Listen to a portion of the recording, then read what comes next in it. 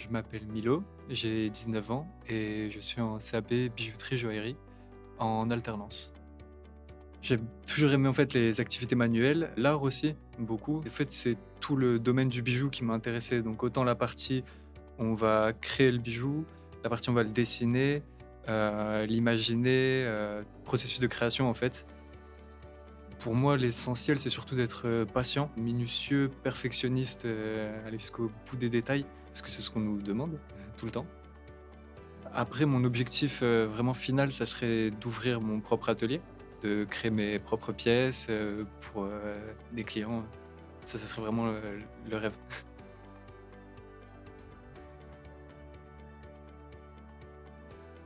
Moi, c'est Laetitia, j'ai 30 ans, euh, donc je suis en CAP bijouterie euh,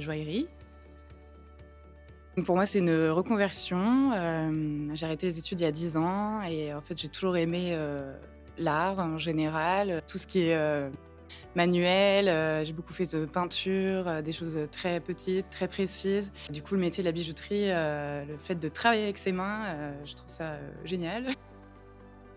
Les principales qualités en bijouterie, donc déjà être manuel, être euh, très précis dans ses gestes, bien observer, écouter. J'aimerais bien poursuivre euh, en entreprise euh, pendant plusieurs temps pour pouvoir valider mes acquis.